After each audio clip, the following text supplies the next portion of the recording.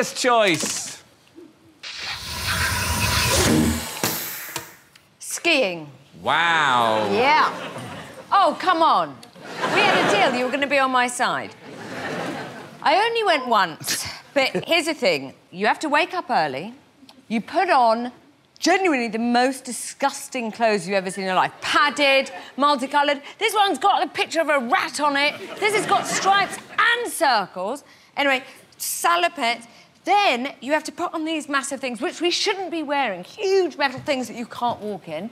Then you go on a ski lift. That alone is terrifying, the most terrifying fight. Even though I was just like this, holding on, went round it for seven days. No, come on. then you physically exert yourself. Why would anybody ever do that? You go down, it's incredibly dangerous, slushy. Then you have to take it off.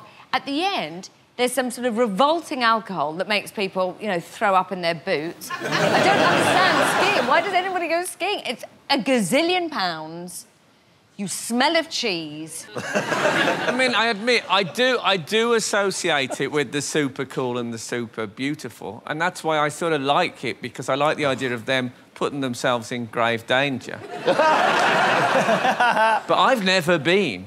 It's always seemed like something that other people do. I, I must. It's admit. ridiculous. Yeah. And it's all lip gloss. They've all got lip gloss on and this straight mouth and a skill. Hey, they, nobody spends any time with their kids. In you go. In you go. Lucifer. In you go.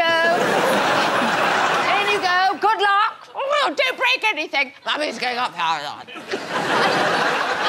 I'll pick you up. Feed him, feed him. Feed him. I'll pick him up later.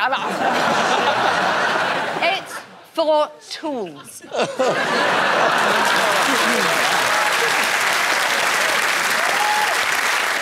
Go, Johnny. I've Go, lost Johnny. already, haven't I?